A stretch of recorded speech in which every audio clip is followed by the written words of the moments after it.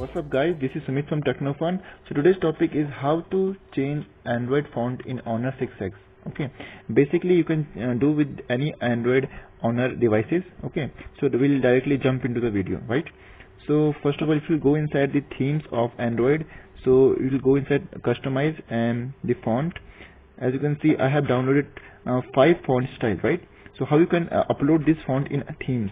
So directly you need to go inside the Play Store and download the honor font style okay? The first would, be coming as themes manager.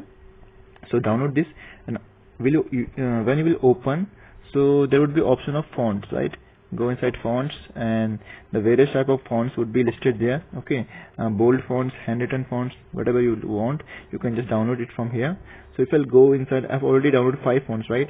So if you'll, uh, I'll download some you know uh, some something different.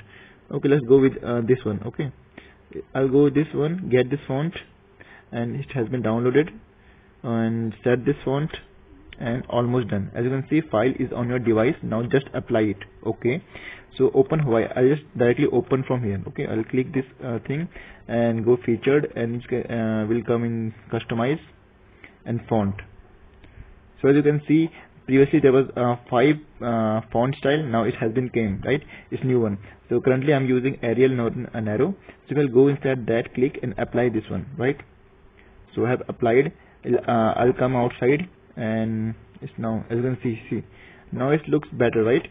If i'll go inside the messages and want as you can see if i uh, want to try some messages.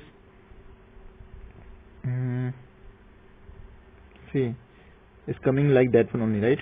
So hope you have you know uh, you have succeed on this to perform this task. So i think uh, that's it from uh, today's video. So hope you have liked this video and enjoyed. If you liked so please do subscribe our channel. Uh, we'll be uploading more videos on techie right? So thanks thanks guys. Keep sharing love with us by subscribing. We'll meet in next video. Meanwhile bye bye